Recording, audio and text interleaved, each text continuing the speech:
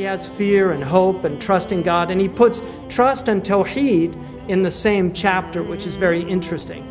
Because to him, Tawheed is not a theoretical construct, which it is to most Muslims, this idea God is one.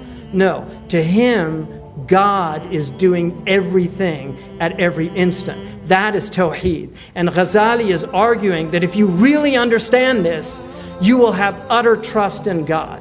You will put all your trust in God because it's all God. God is doing everything in every instant.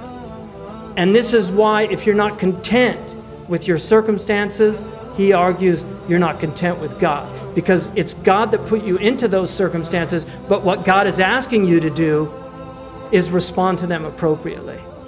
That's the challenge. It's not the circumstances. The challenge is the power that God has given you in your will, your irada, to actually take your circumstances and respond appropriately. And there are only four circumstances and four requisite responses.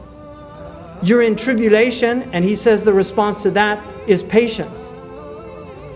You're in a, a situation of blessing, and you have to respond to that with gratitude, and that will increase you. And if you don't do those things, what he says, if you're in a state of gratitude and you respond by heedlessness, the blessings will be taken away from you, not as a punishment, but as a reminder to pull you back.